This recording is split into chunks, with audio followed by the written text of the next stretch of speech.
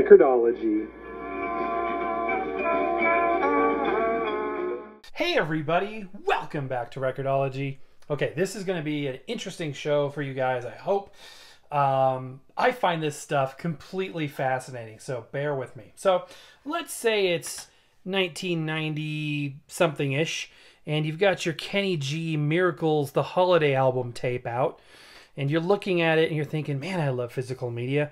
I'm so glad that it's still the 90s and physical media still exists, and I don't have to worry about everything being non tangible digital assets that take no discipline to to come across because we still have physical media. And you come across this little symbol and you're like, what the heck?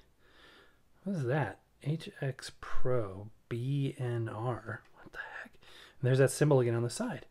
Or maybe you know that's Dolby, Dolby noise reduction, something that you don't see on compact discs is because you don't need it. But on a compact cassette such as this, you will often find the Dolby logo. Sometimes it just says Dolby. Sometimes it'll say B. Sometimes it'll say C. Every once in a rare while it'll say S. And sometimes you'll see HX Pro. What does it all mean? Well, if you're like most people, you realize, well, Dolby just makes it sound better. Well, yes and no. I actually have an opinion on that. But let's talk about facts. Let's talk about what it is, how it works. A lot of people say, well, yeah, it's just noise reduction. It rolls off the highs so that, you know, the hiss goes away. It's not as simple as that. Yet it's not too complicated. So bear with me here as we take a little bit of a journey. Okay? First, and while we have something visual to look at, I'm just going to flip through this so you have something to look at while I'm talking. Um, Dolby Laboratory Kenny G. I don't know why this is the one that I happen to grab. I apologize. It nothing to do about Kenny G specifically. Although I like Kenny G. I think he's got good stuff. Oops. So, uh, Dolby Laboratories released their first noise reduction in 1965. It was called Dolby A. And you've never seen a tape with Dolby A because it was professional only. Dolby A was not for the consumer market.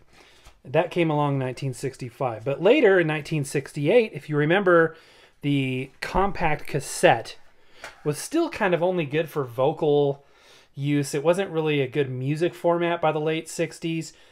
It was had to do with tape formulation, it had to do with a lot of things. But one of the things that really helped bring the compact cassette into the mainstream in terms of sound quality was Dolby B, which was Dolby's first consumer format for noise reduction that came out in 1968. And that's kind of weird to think, too, that Dolby goes back to the 60s.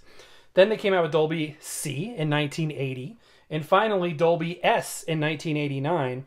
And the last thing they came out with actually actually not the last thing the second to last thing they came out with was dolby sr which was their second professional noise reduction technique so you'll never see a dolby a tape or a dolby sr that was recording studio only.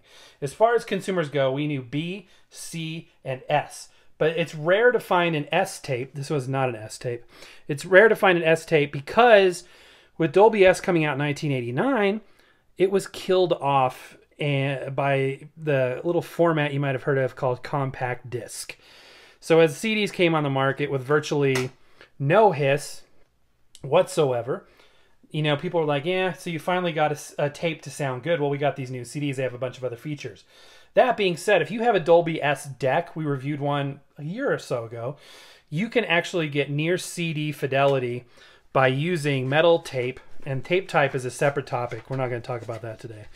But if you use metal tape and uh, Dolby S, you can achieve compact disc quality audio. Okay, so let's talk a little bit about how Dolby works. Yes, we're going to look at a chart. But if you're like me, you're visual, and this will actually truly, truly help. So this is actually a very, very simple chart. I've put my name on it so you know I made it. I didn't copy it off of the internet. This is truly, truly unique to this channel. But it's not it's not that complicated. This is very simple. And of course, let me preface this for the experts and the engineers out there. This is going to be a very, very simplified explanation. There's a lot of science that goes into the details surrounding this. We're just talking about very rudimentary basics, okay? But it's all true. So on this chart here, or this graph, we're going to show two things volume or amplitude, which is represented on the left here. The higher up is the louder, the lower is the quieter. And frequency. The far left is the low frequency or low bass sounds, and the right is high frequency. Now, this range, 20 hertz or 20 cycles to 20 kilohertz or 20,000 cycles, is roughly the range of human hearing and it's also the range that you know speaker companies and headphone companies claim that their gear can you know reproduce which is a separate topic for a second day but let's let's assume that this is going to represent what we're hearing on a cassette tape with and without Dolby. I'm going to go ahead and put this tape down here so we don't forget what we're talking about here. I'm going to use a couple of different colors. So again, the higher is the volume, the left is low frequency or low bass sounds, and the right is higher frequencies, treble sounds like that. So when you're playing back a tape, and this is going to be kind of like a spectrum analyzer, it shows you know little meters going up and down depending on the frequency, high and low, and whatever. And uh, so that's another way to look at this. But if you're, let's say that this is a representation of audio on a cassette tape, or reel to reel tape, or eight track tape, any kind of magnetic tape tape has hiss or noise. And if you were to chart that, it would look something like this. It happens in the higher domain on the frequency spectrum, and it gets louder the higher that frequency goes. And we, we don't like that hiss. You know, that sound is just like, oh.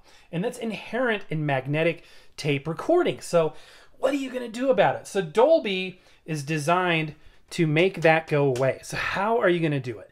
You may say to yourself, well, easy, just turn the treble down and flatten that out. That is a good thought, but it creates a problem because there is something called signal to noise ratio. And the signal to noise ratio looks like this.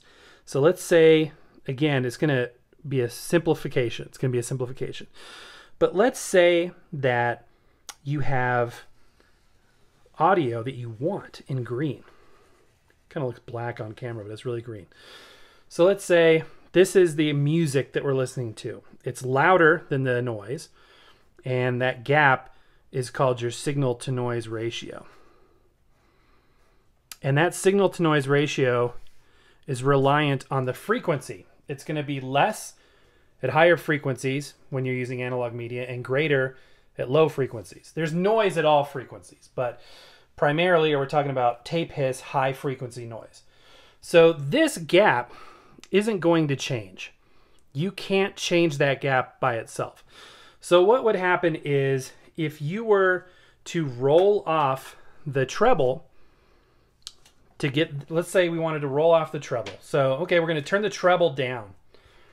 And that line isn't going to go up here anymore. The line is going to go down. It's going to roll off. Well, that helps get rid of some of the hiss. The problem is because this is set in stone, it's going to follow suit. So we're going to lose those high frequencies that we want. So that's the problem with that. And what would that sound like? Well, the hiss would go away, but it would sound muddy. We would lose those high frequencies that make up the spectrum of sound that we're used to hearing. Okay, so remember this. We can refer back to it if we need to. Well, they bled through a little bit. Sorry about that. It's a good thing I printed off more than I needed. But let's keep that in mind because we're going to draw the same same scale again. So again, sorry as I shuffle Sharpies here. Our usable music sound that we want is represented here. Now obviously it's again simplified. In a real world scenario, there's this is up and down and you know it's much more dynamic, but the basic premise exists. And we still have that old annoying tape hiss that's just always there. So, how Dolby works is this knowing back to this principle that these signal to noise ratio gaps are preset. They're essentially locked to each other at whatever value it is, depending on the frequency. That can actually be used to the advantage of getting rid of hiss. So, how do they do it? See if you can guess. If you have, I mean, if you know, you know. But think about if you have no idea how this works, think from a logical perspective. How would they do that? What they do is they ironically get rid of that high frequency at this level and boost it. They amplify the highs. You may be saying, why would they do that? Keeping in mind this principle here, these gaps are preset. And now, because the highs have been boosted, there's a bigger gap than there was before. Left to its own natural state, the gap, the signal to noise ratio gap was a lot smaller on the high frequencies where that annoying hiss represented in purple there was. But now that we've amplified in the recording, and that's an important thing too. Dolby noise reduction is a two-step thing. It's encoded and then decoded.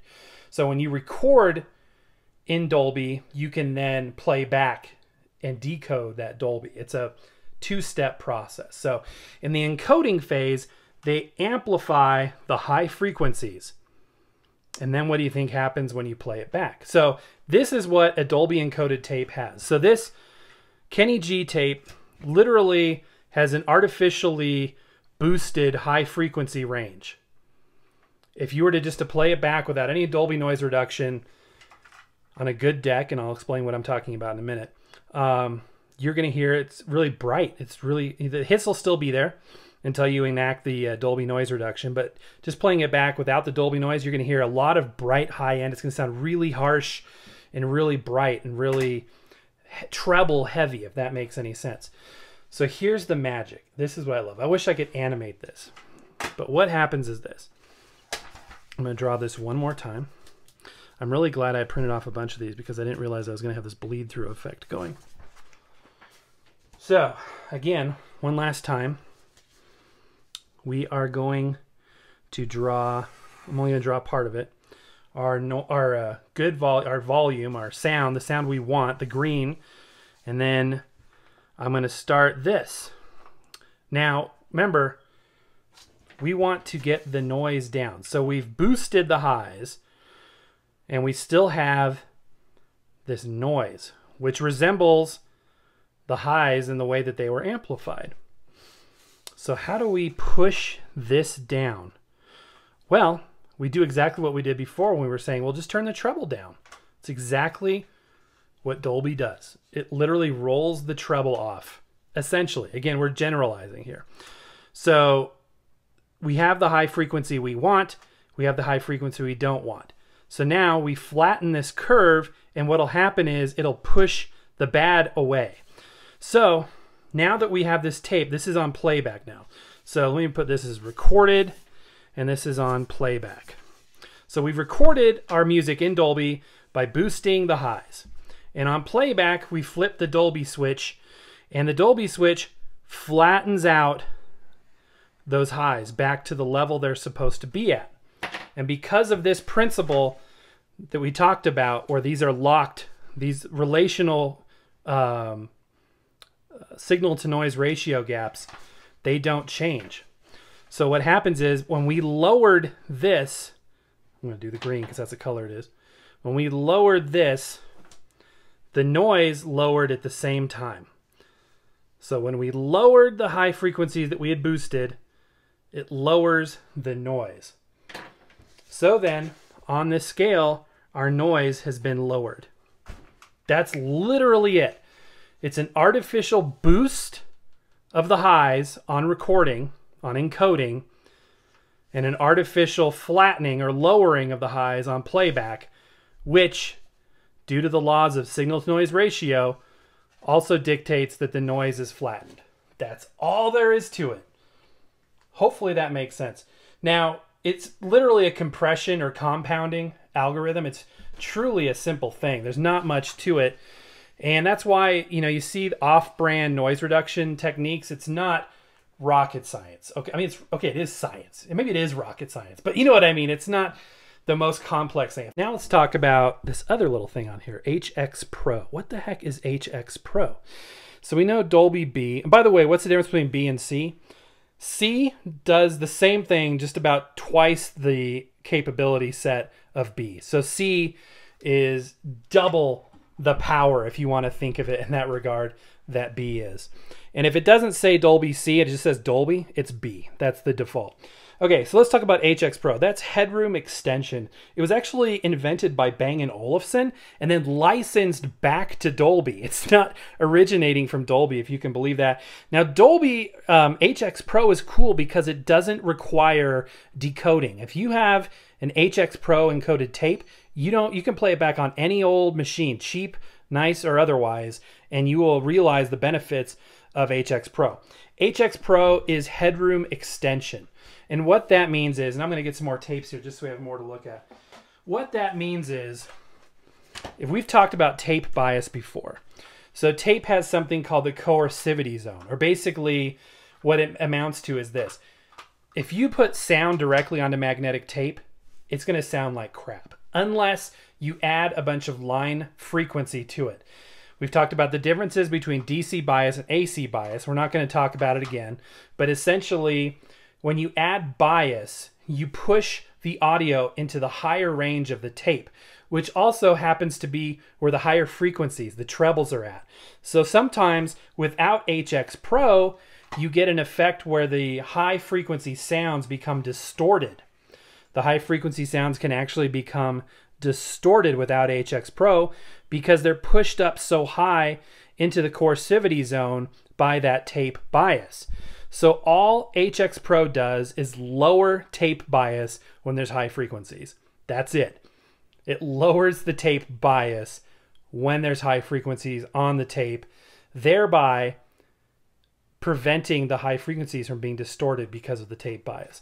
That's a little bit harder to wrap your head around, but honestly, it makes sense. It makes sense. So, and finally, the last thing I want to say, and I know we've talked a lot today, but the last thing I want to say is one of the benefits of cheap tape decks is they have kind of a muted, rolled off quality to them on the high frequencies. So what happens is you kind of get a good sound quality off of a Dolby encoded tape playing it on a cheap tape deck. Because of the low frequency response of the head, you kind of get this roll off effect. So Dolby tapes sound decent on cheap modern tape decks. So, all right, guys, I know that's a lot to handle, but tell me down in the comments what you think. Hopefully, you learned something. I sure did. Fun as always. And that's going to do it for now, guys. Happy record hunting, happy tape hunting and listening. We will see you tomorrow.